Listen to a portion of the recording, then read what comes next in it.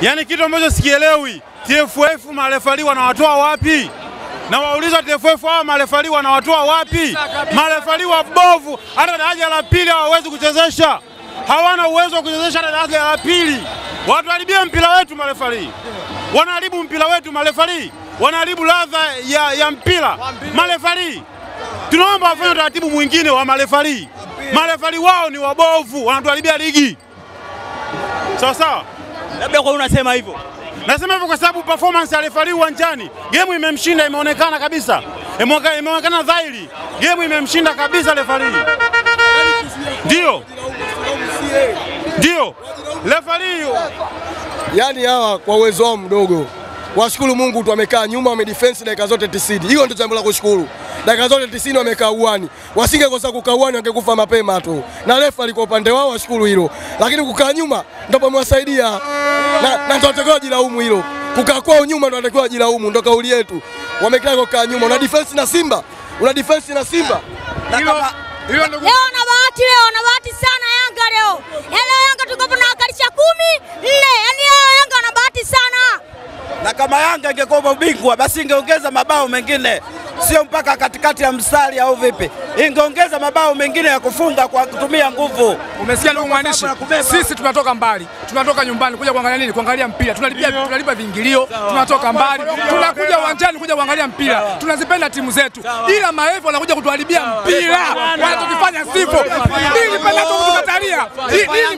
Huyu refa. Na mimi moja, na mimi moja, refa ametuangusha sana, lakini vile vile watani zetu tunawaambia, wametufunga la kwanza wakacheka, sisi ndo tumecheka zaidi yao. Asante. Wamebebwa sana, wamebebwa sana. TFF angalie marefa yao. Marefa sita nini sasa? Eh? Sasa tunataka marefa sita nini? Unaweka marefa sita nini? Wanatuangusha marefa sita, marefa hii. Marefa wanatuangusha. Oya baba, baba, mimi nasemaje? Huyu refari leo Yanga wamempanga, wamempa hela, mimi najua sio bure, lakini tunawaambiaje, pambano litarudiwa, ila urefa si hatumtaki, na wamshukuru sana refa siku ya leo. Wamebebwa lakini hawajabebeka. Eh bana, eh, sisi hatujala mchana kwa ajili ya hii gemu, umenielewa? Hela zetu za kula tumezitunza, tuje tuingie hapa. Mwisho wa siku refa anachofanya anatukosea heshima. Yanga penalti gani zile eh? Lefa muda wote kalemea Yanga, lefa muda wote kalemea Yanga, umeelewa? Mambo gani? Washukuru Mungu, huyu refa amemwokota, isingekuwa hivyo angepigwa dala. Sasa Ilipotokea nashukuru Mwenyezi Mungu, japokuwa tumedraw, ila nashukuru. Matokeo ni mazuri kwa upande wangu. Labda umeonaje kiwango eh, labda cha unyango Kiwango cha unyango kwangu mimi naona vizuri, kacheza vizuri. Eh, kacheza vizuri zaidi. Eh, kwangu mimi kwa upande wangu, sasa sijui wengine, labda nyinyi mzungumziaje? kwa mimi naona anacheza vizuri zaidi eh, kacheza vizuri. Sawa, asante. E bwana, huyo ni shabiki wa Simba akiendelea kuzungumza. Bado tupo tunatafuta mashabiki wengine, ni mradi tuweze kuzungumza nao. E bwana, mambo vipi brother? Oya mwanangu, mimi sikubali rudiwe tena, nataka mechi rudiwe. mwanangu, mimi sikubali kabisa mwanangu. Ah, sasa unalia? Eh, Eh, Kwa nini unalia? mwanangu mi na uchungu sana na timu yangu, unaona, mi na uchungu sana na timu yangu. Refa akafanya madhaifu sana kumwingiza Juma Makapu, angemwingiza Ninja. Hata mruhusuje mtu ku, kuweko kupiga mpira. Heda namna hiyo mpaka tu- watu, watu wanasawazisha na dakika ya mwisho. Pole sana, pole sana, pole sana. Bwana. Mi naomba irudiwe, mi na wao tena, mi sikubali alo. Wewe kwako utafika kweli leo? Eh? Eh, Wewe kwako leo utafika? Alo, mi nyumbani sifiki alo ase. Kwa nini sasa ufiki? Na uchungu sana na timu yangu bwana.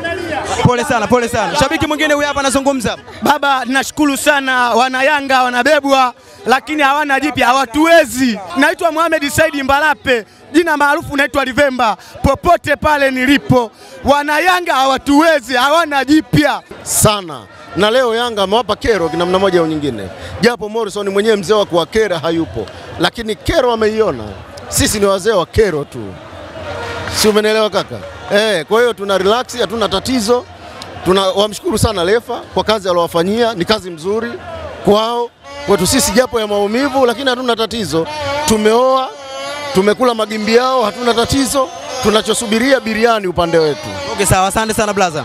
Hayo ni maoni ya mshabiki, anasema kwamba biriani, magimbi, siyo nini, yote amezungumza yeye. Mimi sina cha kujazia, sina cha kuongea. Nina shabiki mwingine hapa. Bwana Faza, habari yako? Salama mjomba. Bwana, unazungumziaje game ya leo? Kwanza jitambulisha majina yako. Mimi naitwa Hassan Kipingu. Ndio, labda unaizungumziaje game ya leo kwa namna ambavyo ulivyoiona? Huu mpira wa leo, kusema ule kweli, mimi Simba lakini refa leo ametuonea. Ametuonea wapi?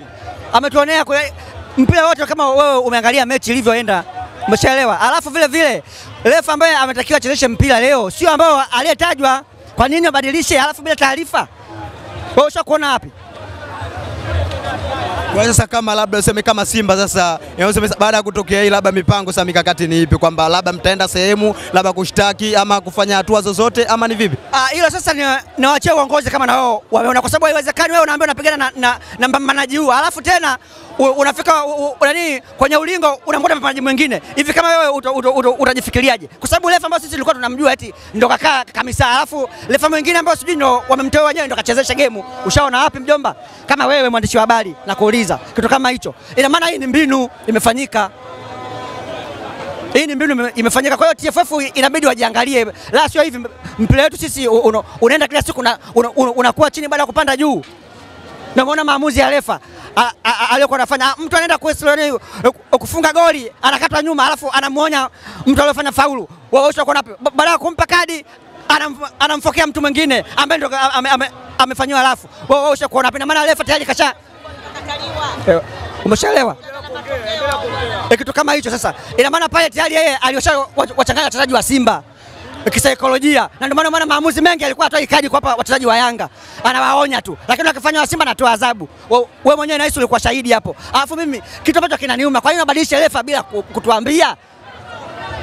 Mimi ndio yangu ya leo ya msingi nisikilize katika vyombo vya habari na uongozi wa TFF utasemaje? Eh, mimi sina eh, la kusema zaidi ya hapo. Okay, sawa, asante sana.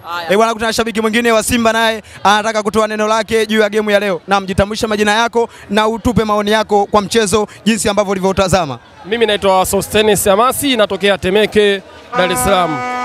Gemu ya leo kwa ujumla ilikuwa nzuri, ila gemu imeharibiwa. Labda tuwe wa kweli, Yanga hapa kaja kuzuia, hakuja kucheza mpira, kaja kuzuia. Haiwezekani dakika 90 mtu unakaa nyuma, unafikiri wewe unacheza ugenini, labda umeenda Misri au umeenda Moroko, unacheza timu ya kigeni. Wameamini kwamba wana timu nzuri. Simba leo ndio imethibitisha kwamba ina uwezo mkubwa, si level ya kucheza na timu kama Yanga. Na pili, Ref- refari wa katikati akisaidia na, na line 2 wameprove failure. Uwezo wao kuchezesha umekuwa mdogo sana, umekuwa mdogo mno mpaka ametoa ladha ya game. Kama kuna faulo mbili ambazo Simba wanaenda kufunga, mchezaji wa Simba anachezewa faulo karibia na boksi, atoi hata kadi.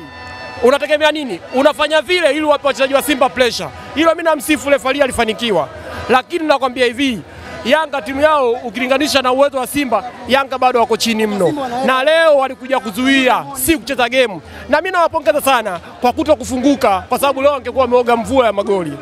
Leo Simba alicheza mpira VPN, mpira seva, mpira wide area network, mpira local area network.